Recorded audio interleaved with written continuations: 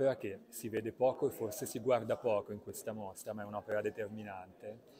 È una meridiana collocata all'esterno dello spazio espositivo, che però idealmente ha una sorta di prosecuzione con una freccia all'interno. Se quella meridiana potesse, oltre che misurare le ore, misurare anche gli anni, ci riporterebbe al 2002, che è l'anno di inizio di questa mostra. Le prime opere di questa mostra sono del 2002. Nel 2002 l'arte italiana, l'arte giovane italiana, qui ci sono artisti che erano giovani nel 2002, era dominata da un'idea, l'idea di sospensione. Sospensione era la parola che usavano tutti gli artisti, un po' tutti i critici, per raccontare qual era la loro poetica.